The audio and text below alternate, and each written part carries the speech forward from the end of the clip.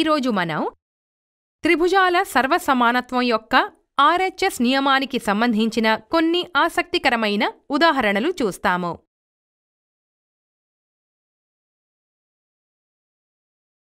కింది చిత్రాన్ని చూసి త్రిభుజం ఏడీబీ మరియు త్రిభుజం బీడీసీ సర్వసమానాలా? అంటే కాంగ్రువెంటా కాదా? కనుగొనండి.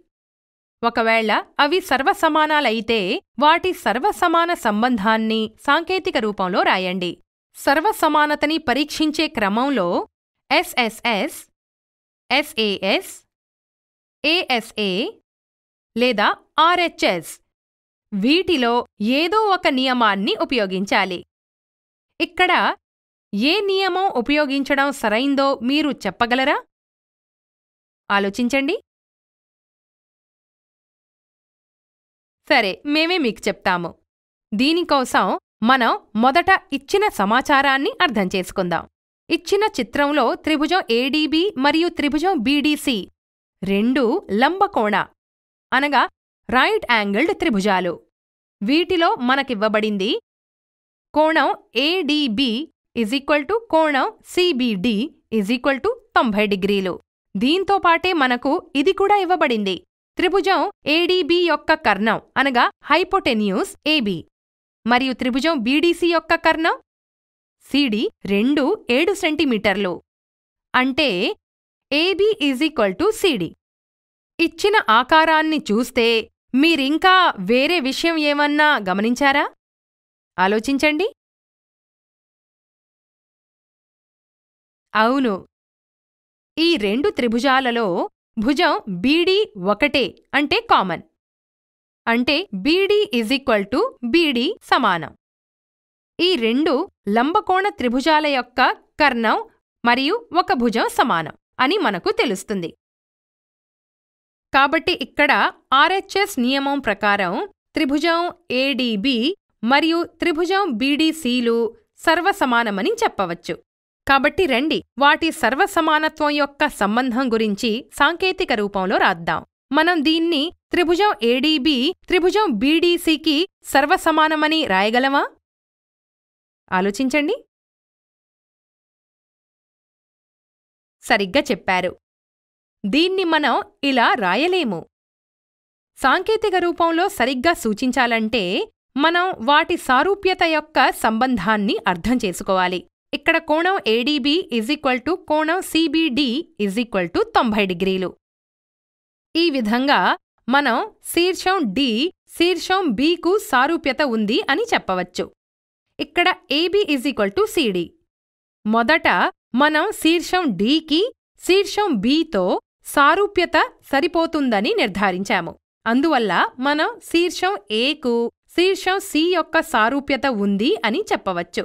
అదేవిధంగా మనం శీర్షం బి నుండి శీర్షం డి యొక్క సారూప్యతను ఈ విధంగా చూపించవచ్చు. సంక్షిప్తంగా మనం డిఏబికి బీసీడీతో సారూప్యత ఉందని మనం చెప్పగలం. సారూప్యత ప్రకారం మనం ఇలా రాయవచ్చు. త్రిభుజం డిఏబి త్రిభుజం బీసీడీకి సర్వసమానమని. సారూప్యత యొక్క సంబంధాన్ని దృష్టిలో ఉంచుకొని ఈ రెండు త్రిభుజాల సర్వసమానత్వాన్ని మనం ఈ కింది విధంగా చూపించగలం. తదుపరి ఉదాహరణ. క్రింది చిత్రంలో కనుక AB is equal to BC YB is equal to BZ అయితే అప్పుడు ఆర్హెచ్ఎస్ సర్వసమానత్వం నియమం సహాయంతో కోణం వై ఈజ్ ఈక్వల్ టు కోణం జెడ్ అని నిరూపించండి. ఇచ్చిన చిత్రాన్ని చూడటం ద్వారా మరియు ప్రశ్నను సరిగ్గా చదవడం ద్వారా మనం ఈ కింది సమాచారాన్ని పొందుతాము.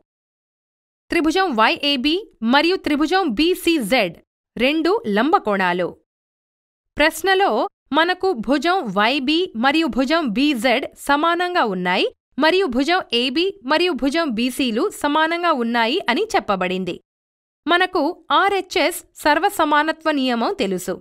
ఒక సారూప్యత కింద ఏదైనా లంబకోణ త్రిభుజం యొక్క కర్ణం మరియు ఒక భుజం మరొక లంబకోణ త్రిభుజం యొక్క కర్ణం మరియు భుజం సమానంగా ఉంటే అప్పుడు ఆ త్రిభుజాలు సర్వసమానాలవుతాయి.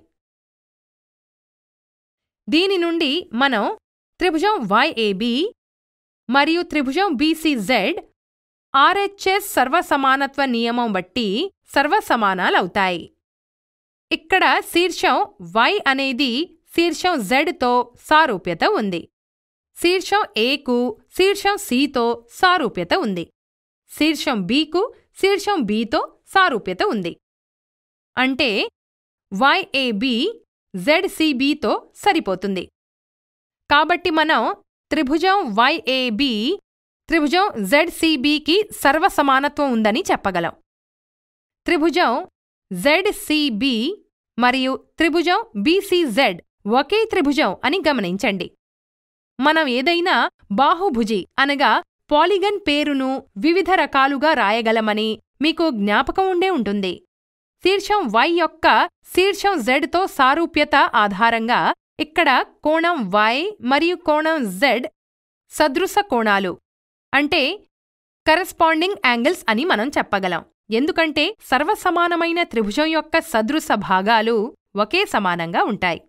కాబట్టి కోణం వై ఈజ్ ఈక్వల్ టు కోణం జెడ్ అని చెప్పగలం.